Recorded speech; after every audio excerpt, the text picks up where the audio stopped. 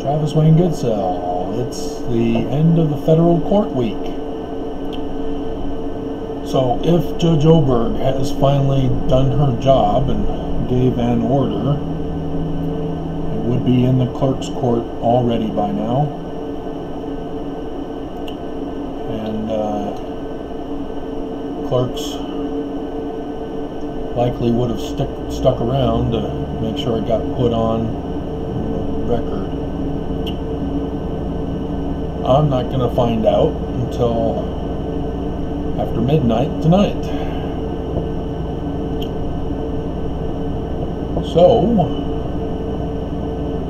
um, checking, um, looking, and I'm not seeing anything new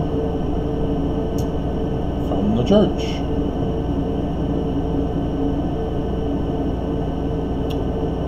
Yeah, nothing new. Alrighty. So we wait. I'll put the uh, link of the uh, the docket from PacerMonitor for you to see for yourself with me after midnight tonight if Judge Oberg did anything and the clerks put it on the docket.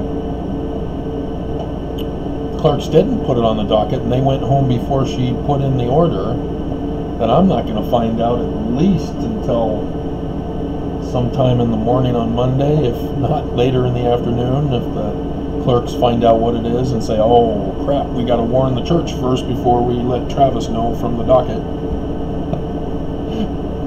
so, uh, that's why I was checking to see if the church had been doing anything, but they're remaining silent yet again.